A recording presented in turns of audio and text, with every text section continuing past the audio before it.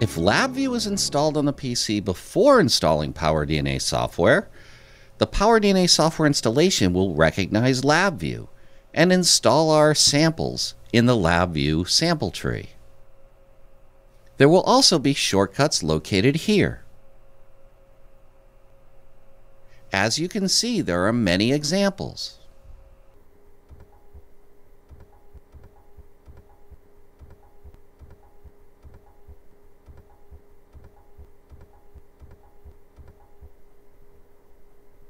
Let's bring up an analog input sample, acquire and chart continuous.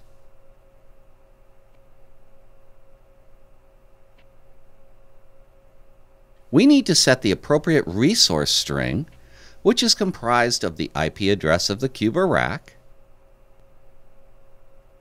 the device number of the I.O. board, in this case an AI207, and the channels we wish to measure.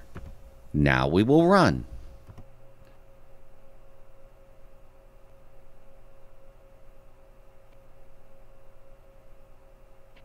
During this Getting Started series, I've collected data from the 207IO board using C code, PowerDNA Explorer, and now LabVIEW.